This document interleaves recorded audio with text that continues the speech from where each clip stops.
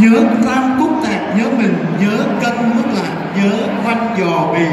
Kính thưa quý vị, khi chúng ta đọc lại những phần thơ như vậy, không ai trong chúng ta mà không sao xuyến nhớ về một mùa xuân ở bên nhà.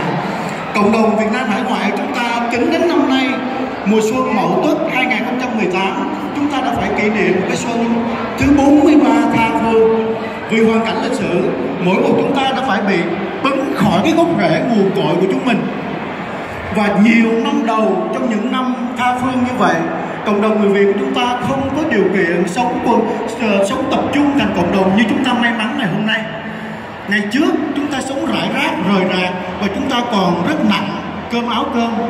Vậy thì cái cảm giác của những mùa xuân trên đất khách của nhiều năm cũ như thế nào? Chúng tôi xin mời quý vị hướng về sân khấu để cùng chào đón sự trở lại của uh, tiền bối Trịnh Phước Chí và Hoàng Tân Cổ Giao Duyên. Rất xúc động, xin nhường lời lại cho à, đoàn cải lương hương miền Nam. Xin quý vị cùng chào đón.